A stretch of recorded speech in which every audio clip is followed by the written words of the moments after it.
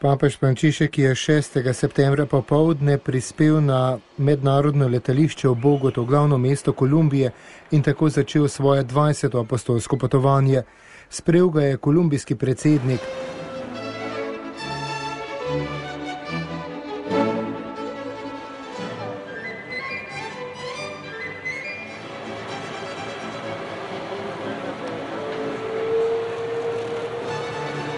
Po spremni slovesnosti se je papež s papomobilom napotil proti apostolski nuncijaturi, kjer bo med svojim apostolskim obiskom v Kolumbiji tudi bival. Med potjo ga je pozdravilo na sto tisoče prebivalcev glavnega mesta. Pred nuncijaturo se je srečal skupino vernikov, ki mu je zapela tradicionalne pesmi in zaplesala. Podarili so mu tudi ruano kolumbijano, tipičen krajeven pončo.